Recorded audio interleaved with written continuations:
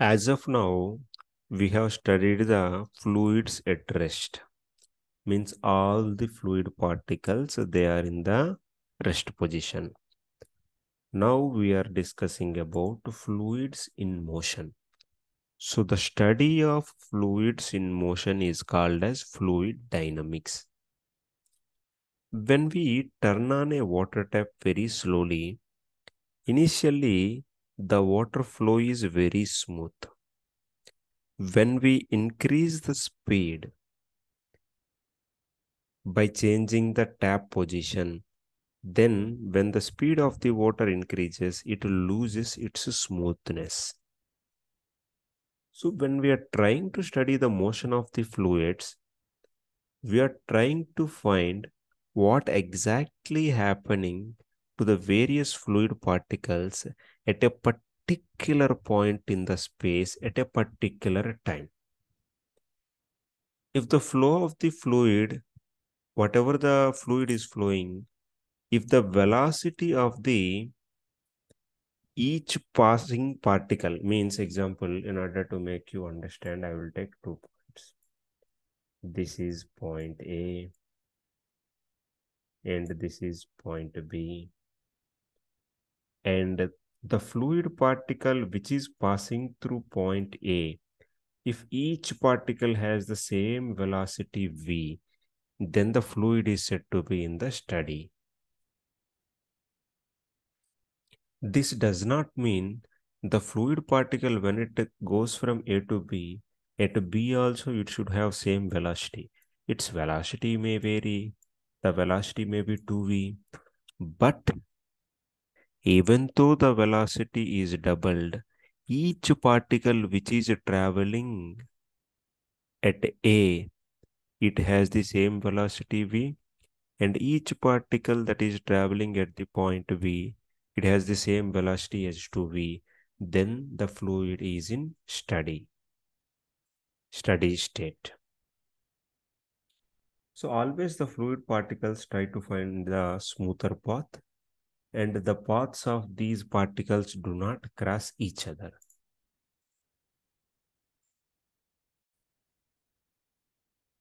So if the fluid particle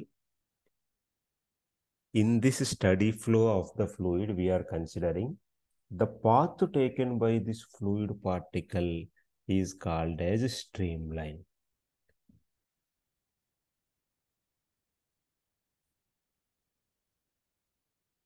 Now we consider three points here. One is P and the second one is R and the third one is Q. If the fluid particle started from P through R, it is traveling to Q. Now the area at the P is A suffix P and area at R is A suffix R and area at Q is A suffix Q. And the velocity at the point P is V suffix P and the velocity at R is V suffix R and the velocity at q is v suffix q. Similarly, we want to find the mass of the fluid that is passing through the point P in a small fraction of time delta T. Then the mass of the fluid is given by rho density of the fluid into area at P and the velocity of the fluid that is V suffix P into delta T this must be equal to the mass of the fluid that is traveling through R in the small fraction of the time.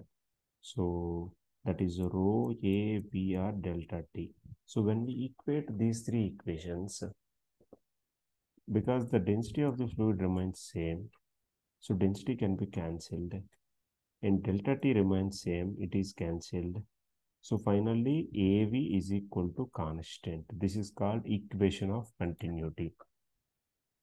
So at any particular point of time, the area into velocity of the fluid that is traveling, if we multiply, that remains constant.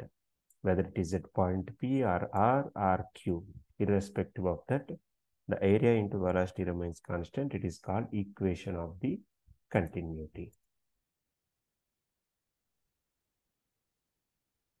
So because AV is constant, if we take this horizontal pipe, you see, in order to maintain the AV as constant, example here I am writing, here A1, V1, A2, V2, A3, V3. Here you see A1 area is small compared to the A2. But A1 V1 must be equal to A2 V2. When it happens, because A1 is very much small compared to A2, then the velocity V1 must be more compared to V2. So whenever this narrow portion is there here, here the flow of the fluid, the velocity is high, velocity is more compared to this point R. This makes the equation of continuity to work. So irrespective of the changes in the area, the velocity of the fluid also changes in such a way that to make the area into velocity of the fluid remains constant.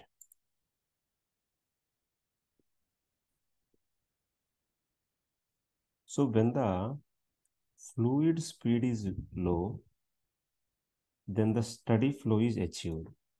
But if the flow of the fluid, the speed increases beyond a particular limit, that's what we call as critical speed. Then the fluid loses its steadiness and it becomes turbulent. Example we see.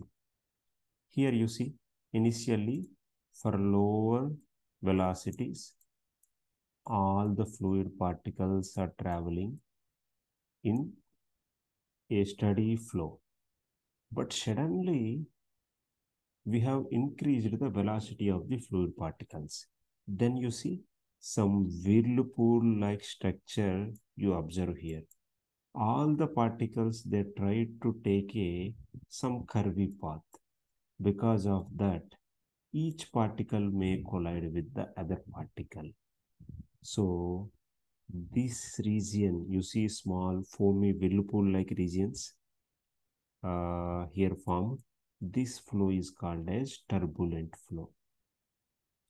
In this turbulent flow, the steady flow principle is not followed. So this is the difference between steady flow and the turbulent flow. In the steady flow, the area into velocity remains constant, whereas the turbulent flow, this principle will not be followed.